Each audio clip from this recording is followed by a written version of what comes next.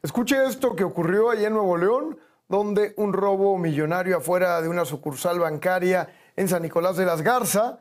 Ayer un delincuente interceptó a dos hombres en el estacionamiento de una plaza comercial en la colonia Antiguo Corral de Piedra. Les arrebató dos mochilas, una con 700 mil pesos y otra con 600 mil.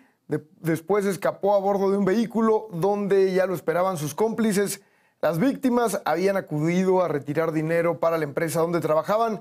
Este es el cuarto robo que ocurre en cuatro meses allí en la zona metropolitana de Monterrey, con un botín que suma ya más de 4 millones de pesos.